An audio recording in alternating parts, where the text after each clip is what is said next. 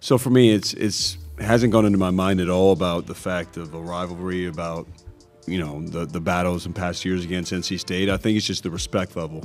You know, we've always had big time games against them. I don't.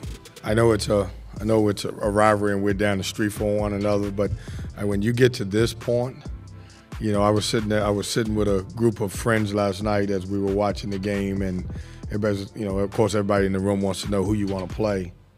And I just said, hey, when you get to this point, you're blessed to be here, and you take the opportunity to play whoever you get a chance to play.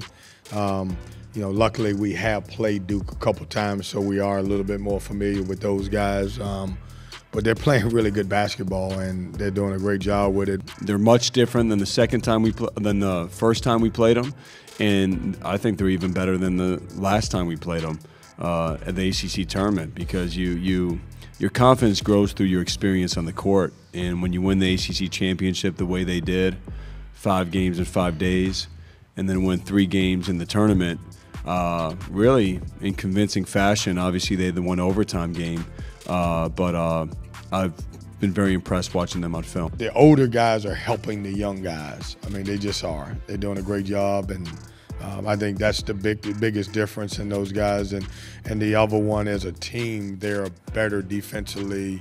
Um, than I've seen even two weeks ago. You know, it's gonna be a big time battle, regardless of whether it's an NCAA tournament, ACC tournament, regular season game. There's there's always a lot at stake, and uh, this is no exception.